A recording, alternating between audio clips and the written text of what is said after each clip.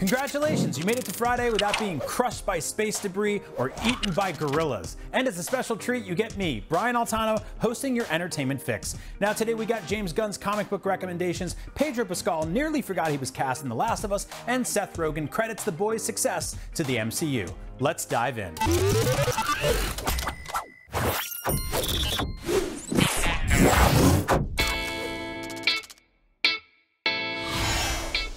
This week, DC Studios co CEO and part time MCU filmmaker, that's going to take a minute to get used to, James Gunn laid out the studio's new multi year plan for their film, TV, and games properties. And being the comic book nerd that he is, Gunn listed off a few comics that definitely fly under the radar of casual fans. Among the new movies on the DCU slate is The Authority, based on characters from the Wildstorm imprint of DC Comics. Originally, Wildstorm characters were separate from those in the regular DC Comics continuity, but during the new 52 reboot of DC Comics, characters from Wildstorm started making their way over. The Authority are a team of superheroes who, as James Gunn describes, are superheroes who think the world is broken and they're willing to do anything to fix it. It's also a passion project of Gunn's, who's apparently a big fan of the Wildstorm brand of comics. Anyway, according to Bleeding Cool, Gunn's announcement had an effect on comic book sales for The Authority, with The Authority number one going for 550 bucks on eBay. That particular copy had a rating of 9.8 from the CGC, a company that specializes in grading collectibles.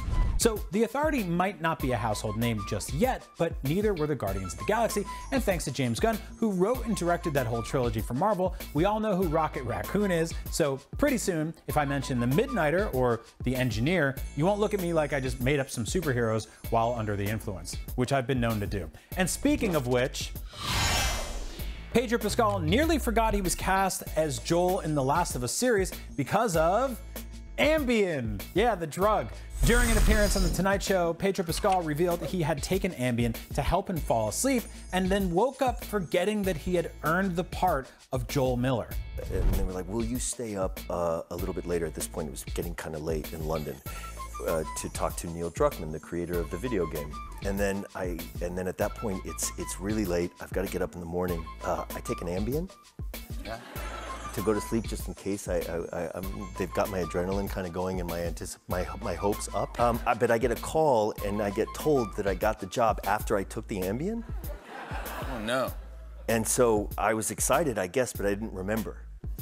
I woke up in the morning and the first thing that occurred to me was like, oh man, I really want that job. I'm in London, they're in LA. I'm gonna wait by the phone all Never. day long. This hasn't happened in a while, you know. I'm gonna be longing and I'm gonna think about it all day long. yeah, it was like, oh, congratulations, so happy for you when I looked at my phone and I was like, oh yeah, I got the job. yeah. The Last of Us has had a huge start on HBO with the premiere episode nabbing 4.7 million viewers, the second best debut for HBO in the past decade, with House of the Dragon coming ahead. Ambien, don't take it when you get a huge news that's good, because you won't remember it. That's my commercial for Ambien. Switching gears back to comic book adaptations, Seth Rogen credits The Boys' success to the Marvel Cinematic Universe. Speaking to Total Film, Rogen, who executive produces The Boys for Amazon, said he doesn't really connect to the MCU since it's mostly kid friendly fare, and The Boys most definitely isn't. But with the MCU being so massive, with multiple billion dollar grossing films, it did open the way for a counter movement to exist, which is where The Boys comes in. Rogen said, quote, I think that Kevin Feige is a brilliant guy, and I think a lot of the filmmakers he's hired to make these movies are great filmmakers.